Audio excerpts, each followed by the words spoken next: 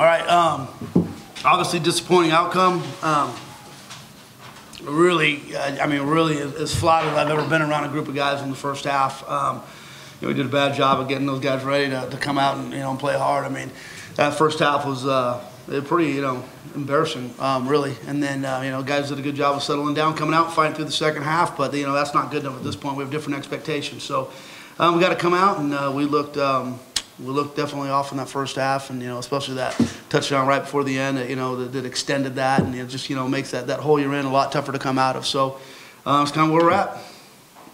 Uh.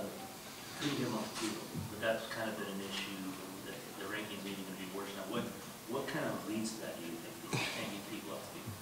Well, we did in the second half. The first half, we, we didn't get them off the field, and a lot of it has to do with the offense. You know, so I mean, it, it- you know, those whole things work together. When you look at the games we've had where we've had success, we've been able to move the chains consistently, uh, be able to give you know give, give the defense time off the field, um, and and we were really poor on third downs. I mean, really, when you look at that first half, we were so poor on uh, on third downs. I forgot what the stat was. I looked at it at halftime, and um, I think they were four or five, or maybe more than that. I don't even know. Um, but time of possession that really dictates that. It just extends those drives, and um, and you know we, we definitely were not in a rhythm first half on offense. I mean, it all dictates that. When you when we run the ball well and we're moving the chains, we usually win the time of possession. When you don't do that, you usually lose the time of possession. As much momentum as you had going into this game, was that 35 point goal just stunning? I mean, I mean, you know, yeah. I mean, it's stunning. Regardless of momentum, it could be in week one, it could be in week ten, coming off a loss, coming off a win, 35 points in the first half. I mean, it's you know, it's not stunning because we had momentum. It's stunning because you know we should never be, we should never give up that many points in a half. Um, and that wasn't all the defense too. I mean, you have that, you know, I mean, you have a, a bad ball thrown behind the back, the back doesn't catch it in his arms, ends up leading to that, and you know that that led to that play. So. Um, yeah, disappointed. I told our guys I've been very proud of them a lot of times, um, and not just them. I mean, with us. I mean, we, we all own it together. But you know, if I'm being honest with those guys, you know, we can't come in and, and play half a football like that. If we're going to move forward, I mean, that's part of the growing pains of the program. But I mean, at some point, we got to be mature enough to come out and, and to play with energy. We look flat. We didn't look like we had much energy in the first half. I mean, you know, there's almost there's only so much yelling and screaming and motivating you can do. At some point, you have to own it as I, we all played the game, you've got to own it. You got to come prepared. You got to be ready to go. You got to be focused. You have to be high energy, and that's something that you have to own as a player each and every day. And uh, you know, we struggled for a half doing that. What do you attribute, you think, the lack of energy to? You know, I don't know. We'll go back and we'll talk about it. You know, I mean, I think um, immaturity, um, lack of success from a program, uh, being in places we haven't been before, having expectations maybe we haven't had before. I don't know. There's a variety of different things, you know, but uh, it, it's not any bigger than one game. You know, I mean, it is, you know, that's what it is. And we just got to go back to the drawing board and we got to focus and we got to get ready to go, you know, fight against San Jose and get that fourth win. Onside kick, I mean, that, uh, Was that your decision to make? The onside kick? The very first one? Yeah, absolutely. Here's the deal. I mean, you got to decide as a coach: do you want to look better in the press conference, or do you want to win the game? Right? And when you're down that much, eh, we got to go for broke. You got to push your chips in. We're down by what was oh, more than four scores, right? At that point, right? Yeah, 25. So you need to score four times. So and you're in the fourth quarter, and it's down, and it's like, yeah, even if they know it's coming, we got to take some chances. Otherwise, we're just trying to get it close so we don't look bad, and that's not that was that's never the goal. So that's why we did that.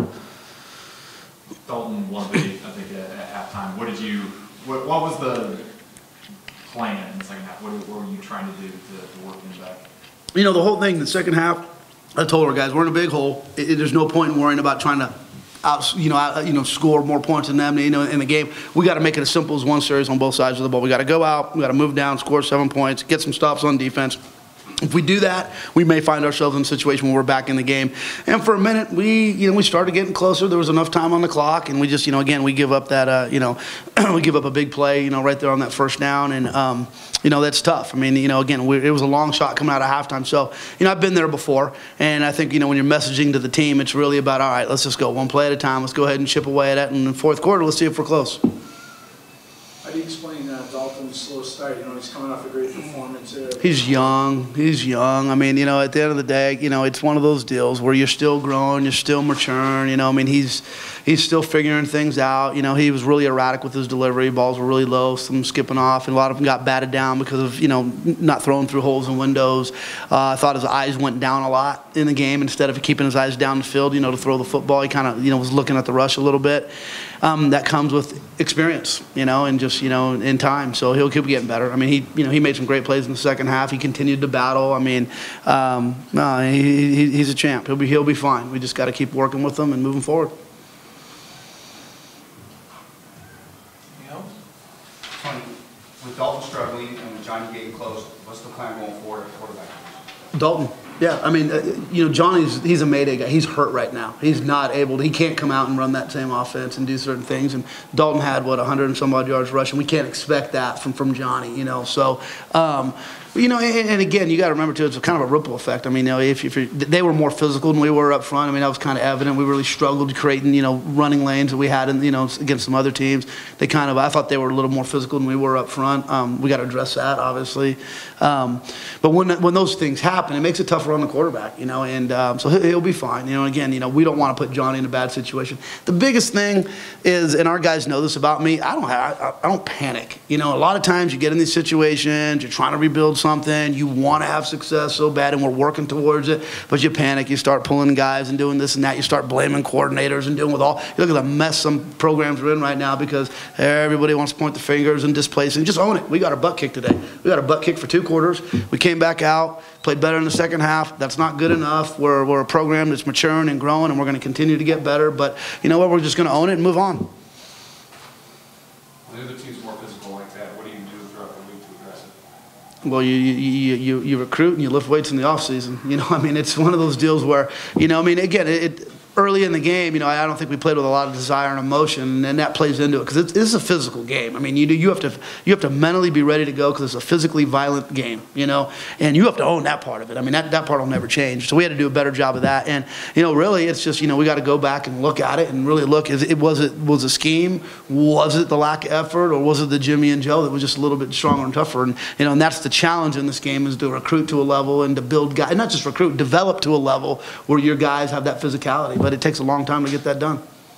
And we're getting much better at it. We've been, I mean, I think going into the game, we're like, what, 17th in the country in rushing and stuff. And, you know, we struggled at times here and there, but, you know, that's, you know, we're, we're all right. We're moving forward. We'll, we'll be fine.